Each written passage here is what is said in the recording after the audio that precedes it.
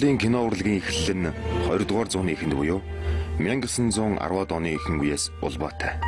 Анх Богд хаант Монгол улсын үед Богдын ордонд мөн тухайн үед хүрээнд байсан Францын биержид кино гаргаж байсан түүх бий.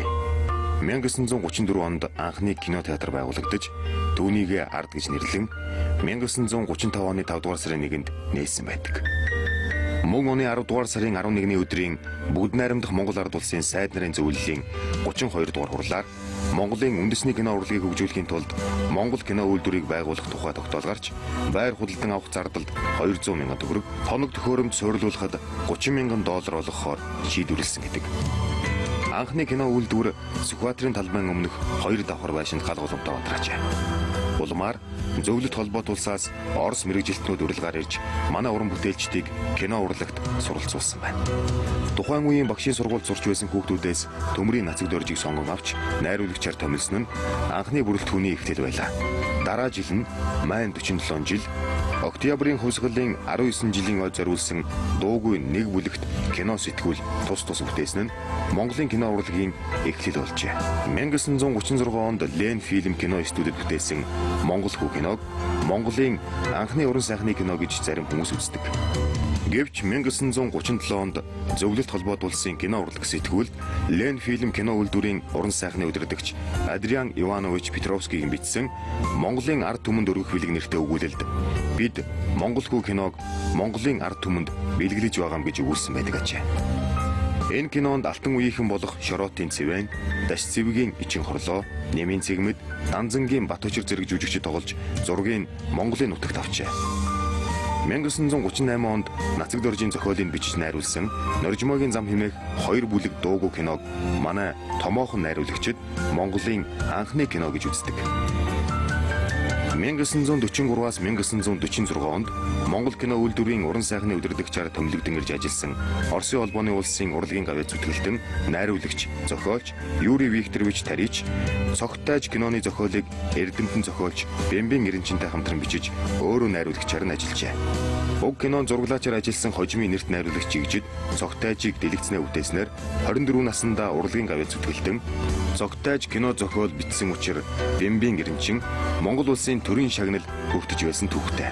Харин энээс хойш 10-аад жилийн хугацаанд нэгч кино хийгээгүй байдаг.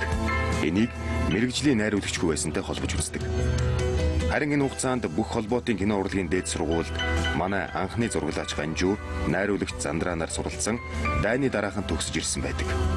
Эннээс хойш манайх кино найруулагч, кино зохиолч, кино зураглаач зэрэг төрөл бүрийн нарийн мэрэгчлэр олон хүмүүсийг сургасан нь алтан үе гэж нэрлэгдэхэд хүргэсэн алдар нэр киноны үсрэнгүү хөгжлийг авчирсан юм. Эннээс хойш Монголын кино дэлгэцнээ гарч ард олны дунд нэр хүндтэй болж нөгөө талаар кино үзүүрийг зөвхөн төв суурин газар төдийгүй хөдөө орон нутагт зохион байгуулах ажил ахицтай болж ирсний хэрээр тэрнийг зохих үндүүлбэртэйгээр үзүүлэх болжээ.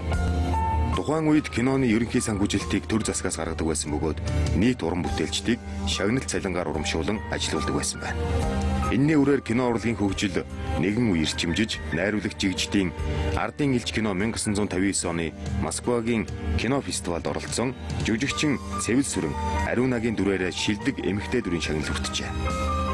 Анхны энэ шагнал булган сүлтэй байж Карл Варын кино наадам зэрэг томоохон наадмуудаас манай цөөнгүү найруулагч шагнал хүртсэн. Сүүлд найруулагч Бэм сүрэнгийн бүтээл Ингэн үлэмс кино Америкийн кино найруулагчдын холбооноос 2005 оны шилдэг баримтат киногоор шалгарч улмаар Оскарын шагналд нэр дэвшиж байсныг манай кино сонирхогчид алдахгүй мэдгүүлээ. Эх орныхоо хөрсөн дээр болон хойно сургууль бэлтгэгдсэн уран бүтээлчдийн бүтээсэн бүх кино улсын өмчим. Тэгвэл улсын өмчийг олон нийтийн мэдээллийн хэрэгсэл болох телевизүүдээр гаргахдаа улсаас зөвшөөрөл авч улсад мөнгө төлдөг болов уу?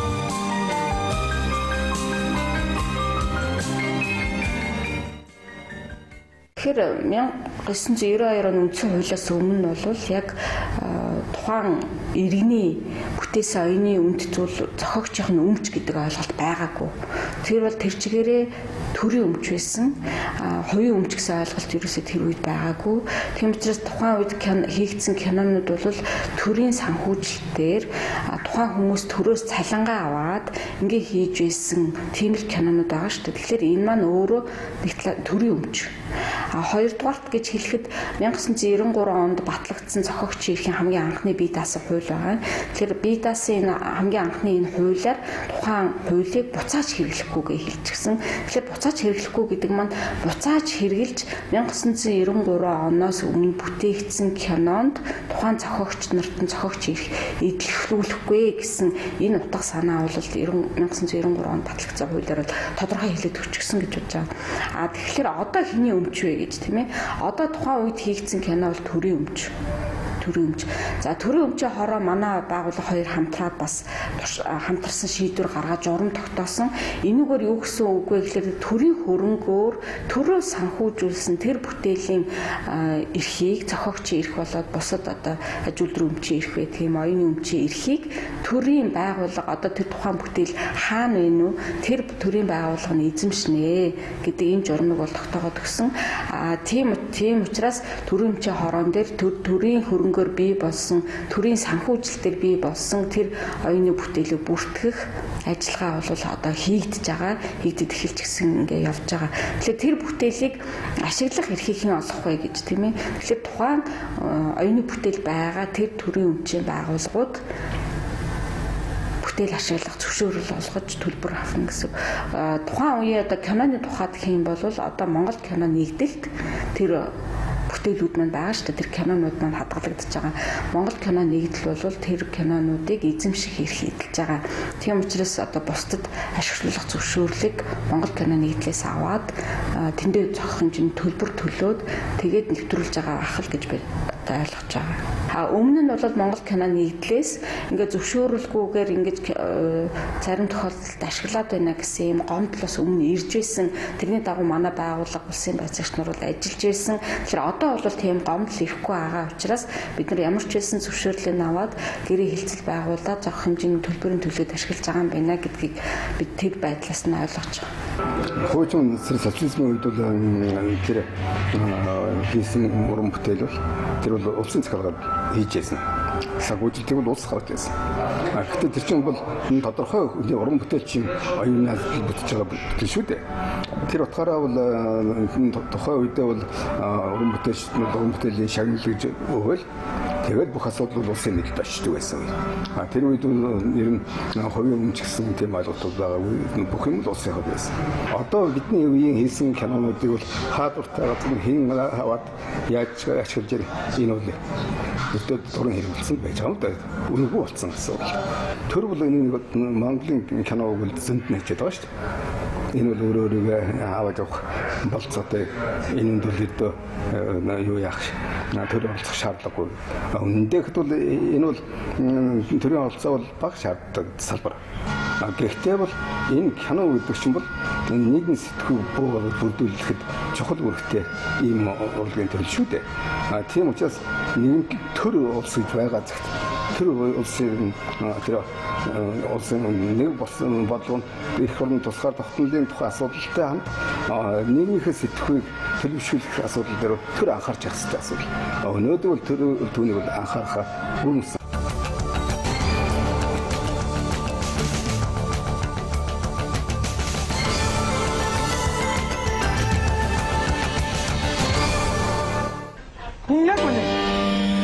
Чи харин зөв хэлдэг шүү. Миний нэг хөрөнгөийг чи хулгай хийж аваад Кино бол өөртөө бүх урлагийг багтааж чаддгаараа хамгийн өргөн цар хүрээтэй урлаг гэж холбогдох мэрэгжлийн хүмүүс үздэг. Тухайлбал уран зураг, уран зохиол, уран баримл, дуу, хөгжим, бүжгийг кинонд үзүүлж амьдтайгч тоглуулж болдгоороо циркийгч өөртөө нэгтгэж чаддаг урлаг юм. Монголын кино урлаг нь сүүлийн жилүүдэд хурдцтай хөгжиж байгаа бөгөөд дэлхийн стандартад нийцсэн техник тоног төхөөрөмжүүдийг ашигладаг болсон. Эдгээр уран бүтээлийг хамгаалж Монголын кино урлагийн цаашдын хөгжил дэвшилд чухал үүргийг гүйцэтгэх нэг гол хүчин зүйл бол оюуны өмчийг хамгаалах тухай асуудал билээ. Үзэгч та бүхний сайн мэдих орхитос 1 2 би чамд хайртай 2 боолын гэрээ сайн уу амьдрал минь хоёлын даашинз хоёр өдөр гурван шүн гих мэт олон кинонууд кино театраас бууж амжаагүй байхдаа хулгайд алдагдаж хууль бусаар DVD-н дээр хуулбарлагдаж хувь хүний гар дээрээс худалдаалагдж байсан нь нууц биш. Энэ нь зохиогчийн эрхийг зөрчсөн ноцтой асуудал болохыг уран бүтээлчид сэтгэл зовнин ярьж байна. Мөн худалдан авч байгаа хүмүүс нь ч гэсэн уг хууль бус үйл ажиллагааг дэмжиж байна гэсэн үг гэж нийт уран бүтээлчид үзэж байна. Харин иргэд DVD-н дээр хуулбарлсан киног хэр худалдан авч үздэг болоо. Энэ үйлдэлээрээ тэд хууль бус үйл ажиллагааг дэмжиж байгаа гэдгээ мэддэг болов уу? байнга л үздэг шүү дээ. Баркадаар наран туул тэгэл ер нь энэ тэнд явж байгаа л тэгэл Гадаа жижиг л үздэг шүү дээ. Тэгж ер нь бодогдчихсаа дандаа л хойлох байдаг. Тэгэл одоо ганц хоёр үзээд ч юм уу те зурагддаг ч юм уу. Тэгэл э, олон удаа тавьж өсөг одоо ингээд зурагдаал гарахгүй ч юм уу те. Тиймэрхэн байж л байдаг юм дөө. Тинэлтэй ихээс өмнөдөөс кинонууд гарцсан байдаг. Зараад одоо 1500 2500 ч юм уу те ингээд сэдэмүүд гарцсан байдаг шүү дээ. Тэгэл хөдөлж хажигддаг. Өмчийн юм дөө миний бодлоор нэг нөлөөлөхгүй байх гэж бодож шүү дээ. Оюуны өмч. За хаяа л үздэг. Тэгэл нөгөө кино паркад гээл газрууд байдаг шүү дээ. Тийм газраас. CD мэдгийг аваад гэртээ үзчихсэн шүү дээ. А CD-гээр аваад хаанаас авах вэ? Кино прокатны газраас л аваа. Тэгээ одоо буруу л ахaltaа тэгэл явахад аваад үзчихдэг шүү дээ. Ерөнхийдөө нөгөө гадуур гарч байгаа CD-нүүдээс үзчихсэн. Нөгөө 2000 тэл байдаг тэр хвцаалах. Янз бүртэй аа онлайнаар ч үзэн тэгээд кино театрч үздэг. Оюуны өвч гэдэг талаас нь юу нь бол тийм баталгаатай тийм яг борлуулах эрхийг авсан газараас нь зүйтэй. Тийм одоо зах дээрс ч юм те. Тийм одоо хөвч олшруулсан тийм газруудаас нь бол юу нь буруу гэж бодчих. Одоо ерөнхийдөө ингээд кино театр дээр гараад байгаа шүү дээ. Тэгэд одоо кино театр дээр гарч байгаа зарим улсууд ингээд үзэж амжаагүй хүмүүс байх юм бол те. Ерөнхийдөө одоо бас ингээд CD шопууд гэдэг чинь тийм одоо чинь ял кино театрын хажууд бас нэг томоохон CD шоп байна. Аа бас одоо ингээд наран тулаад эсвэл гадуур бас ингээд хүмүүс зарцсан явж идэг юм дэ CD мэдгээр нь ингээд тиймхүү юунууд бас зөвөр кино үзээгүй хүмүүс бол авч үзэж болох юм. Ямар хулгай энэ чи?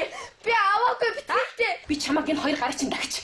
Хизээч хулгай ихгүй болно. Хайраад үг юм илүү. Тэлтэй чи бити. Хаана? Би аваагүй. Аваагүй. Орхитос 1-р ангийн бол одоо 2009 онд нээлттэй хийж ирсэн. Аа тэгээд бид нар 2009 оны намар Эспен телевизэд өгсөн. Тэгэхээр тухайн телевизэн логотой телевизээс нь хуулаад авсан байсан л да. 2010 оны бид нар чинь сая 1 сарын биш 11 сарын сүүлээр өгсөн юм байна. Go go гэд сайтанд гэрээ байгуулаад тэгээд go go сайтаас хулгай хийсэн баг. Аа тэгээд маш олон сайтууд тавигдсан. Аа тэгэхээр яг зүгээр бид яг ажлын их ачаалттай учраас тэр болгон маргаан хийгээд явж чаддгүй тийм ээ. Дээрээс нь бидний бас нөгөө нэг оюуны эмч нь болохоор над дээр байдгийн. Тийм худалдах хөл худалдаалах хэрэг. Тийм учраас бид нар одоо зүгээр яг ийм тал дээр бол хатуухан ярина. Эжээс ч яргал юм биш аа. Тийм ч баг, үгүй ч баг. Наад ч одоо ерс өгөө. Юм болго хоёр талтай. Жишээлбэл амьдрал жаргал зовлон хоёроос бүтэж байна. Ер нь бүх зүйл хоёр талтай байдаг аахгүй. Сайн муу, сайхан муухай, тарган туранхай, өндөр нам, баян ядуу. Ер нь яг Америк Монгол хоёр шиг байхгүй. Гэхдээ Америк яасан, Монгол яасан. Оюуны өмчийг алдах гэдэг нь тал талаас алдж байгаа этгээд нь ч тэр а, улгаалж байгаа этгээд нь ч тэр аль алинд нь 50 50% өгж болох тийм гэмт хэрэгэлтэй.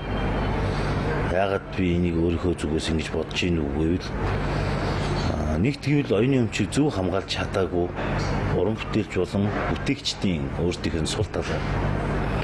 А нөгөө талаас гэвэл хүн олон хүмүүсийн бүтээсэн тэр оюуны бүтээлийг огт э, нэг халаас суйлж байгаа хүнтэй адилхан хулгайлж олон нийтэд борлуулж байна гэдэг бол өөрөө тэр хулгайчаас ялгагдах зүйл огт биш юм аа.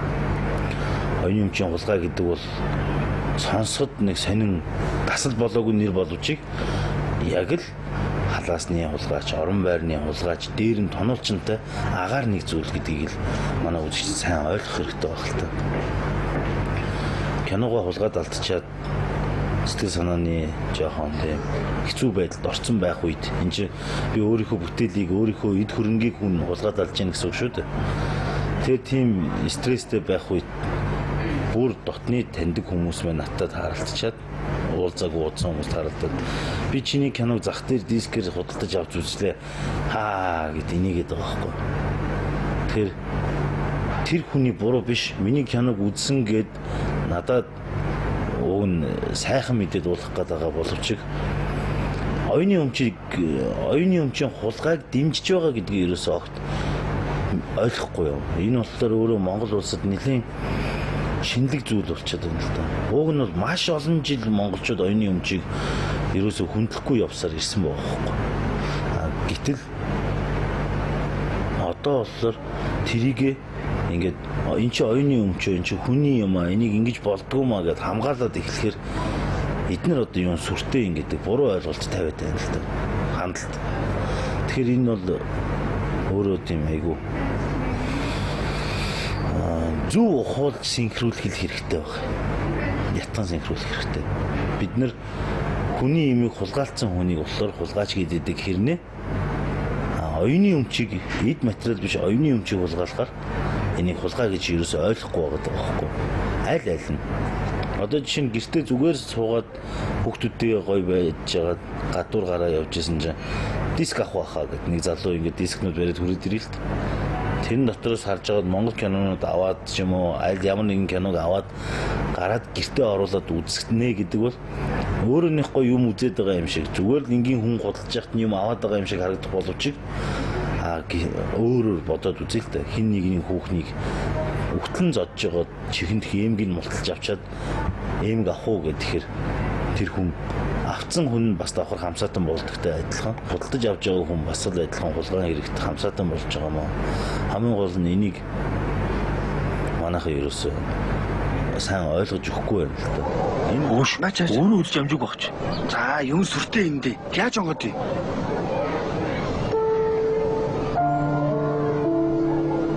Аа энийг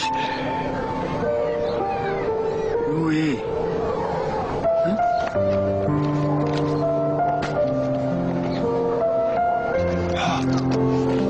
Энэ таны ээж шнүү? Яг тэ өөр яг манай оюуны өмч тухай хууль маань өөрөө бүхэг маш уучрал төгөлтэй хууль байгаа байхгүй. Тэгээд явандаа бол энэ оюуны өмчийн тухай тухай хууль оюуны өмч маань илүү боловсронгуй нарийн болох гэж байна л да. Одоо маш олон уран бүтээлчдийн хийсэн оюуны маш том том бүтээлүүдийг дандаа одоо хууль бусаар ч байт юм уу те. Тэр тэр тухайн зохиолч нь ямар ч ямар нэгэн хэмжээгээр одоо ашигтай биш тий.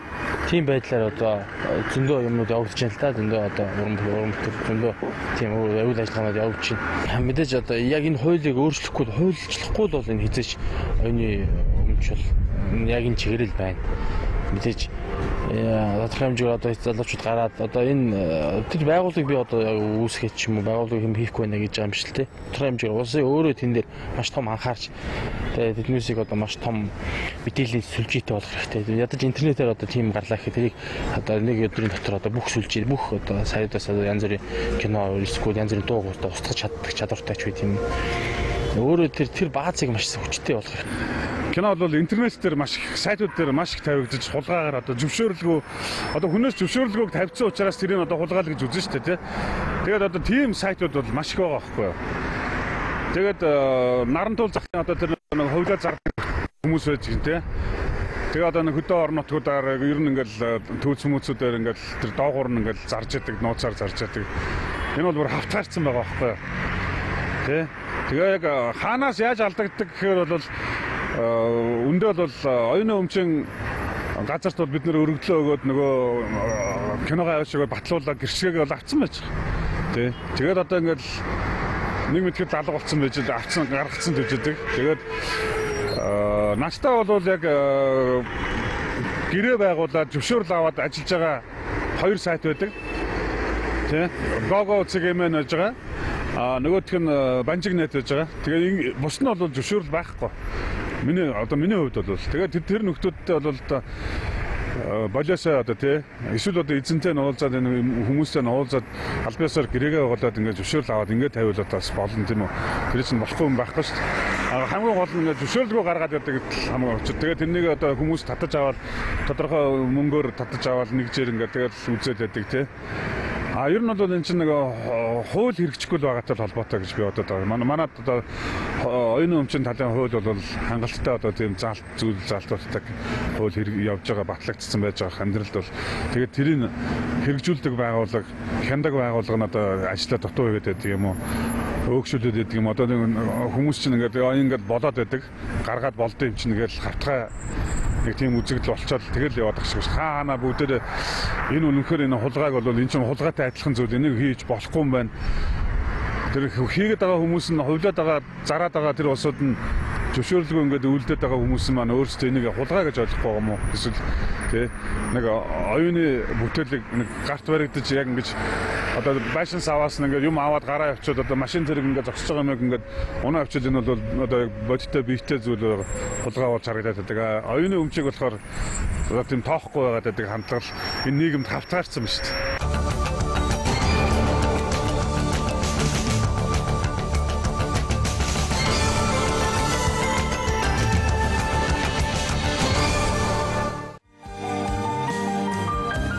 Монголын кино урлаг алгуур боловч урагшилж байна. Гэвч зарим хүмүүсийн хэлж байгаагаар Монголд үйл ажиллагаагаа явуулж байгаа телевизүүд Солонгосын олон ангит киног хулгайгаар авч цацаж байгаа тохиолдолд Монголын кино урлаг хөгжихгүй. Мөн үүнийг даган нийгмийн ухамсарт ч гэсэн гадны соёлыг шүтэх сэтгэлгээ ноёлж мэдээллийн замбраагүй байдлаас ухамсар, зан суртахуун дороотох аюултайг кино урлагийн төлөө зүтгэж яваа хүн бүхэн хэлж байна. Монголын телевизүүдээс солонгос кино гэдэг энэ нэг хар хажиг салахгүй бол монголчууд оюуны өмчийг хүндэлдэг цаг ирэхгүй. Тийм болохоор тэр нэг гайтай хор тавдрыг авч хаях хэрэгтэй. Тэгэхгүй бол Монголын залуучууд мангар болж дуусна шүү. Одоо жишээ нь би саяхан ингээл зогт харж исэн. Ерөөсөө манай телевизүүд бол за кино түрүү би ярьсан кино хүүхэлдэйн кино баримтат кино олон ангит кино бол дүүрэн Дээр нь одоо бүр улаан цайндаа гараад өөрсдөө нэвтрүүлэг бэлтгэхэ болоод бэлэн гадаадын нэвтрүүлгүүдийг за ялангуяа бүр орчуулгагүй нэвтрүүлгүүдийг бол зүгээр сайхан хуулж аваад тавьдаг болсон байна. Тэрийг яг манай үзэгчид үзэж байгаа нь сайхан боловч бид алийн бүлгэн бэлэн хоол идэж явж явах хэрэгтэй байна. Бид өөрсдөө хийх хэрэгтэй. Нэгэн тал телевиз байгуулсан хүмүүс бол тэд өөрсдөө контентийг бүтээх хэрэгтэй. Тэгэхгүй зүгээр хин нэгэн хүнийхийг хулгайж аваад ч юм уу те маш амтгоноор ингээд аваад тавиад байж болохгүй. Тэгэх юм бол энэ хөгжихгүй. Сайн ч муу ч хамаагүй. Өөртөө өөрийн гэсэн зохиогчийн тийм хөтөлбөрүүдийг хийх ёстой. Тэгэх юм бол телевиз ч хөгжинө. Кино урлагч гэсэн дагаад киног үнэлдэг болно. Тэгээ киног зөвөр би өөрөө кино уран бүтээлч зөвхөн киноога голчил ярьж юм л да. Тэгвэл кино урлаг хөгжнө гэдэг бол бусад бүх урлагийг хөгжих голтол хүрнэ болох ёстой байна.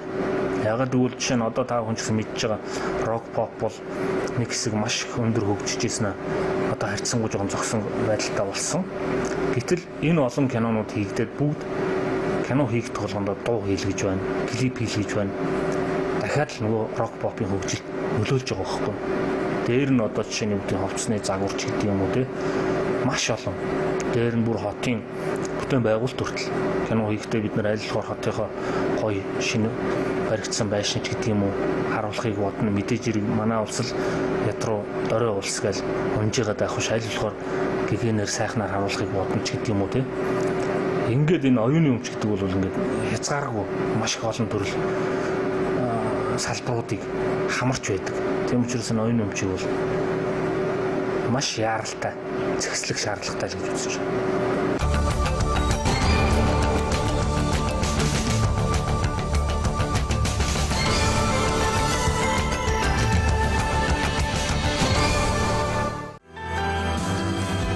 Оюуны өмчийн газраас олон нийтийн мэдээллийн хэрэгсэл буюу телевизүүдээр гарч байгаа орчуулгын нэвтрүүлэг болон олон ангит кинонууд нь зохиогчийн эрхийн зөвшөөрөлтөө эсхийг шалгах ажил тун удахгүй 4-р сар гаргаад эхлэх гэж байгаа тухай мэдээлж байна.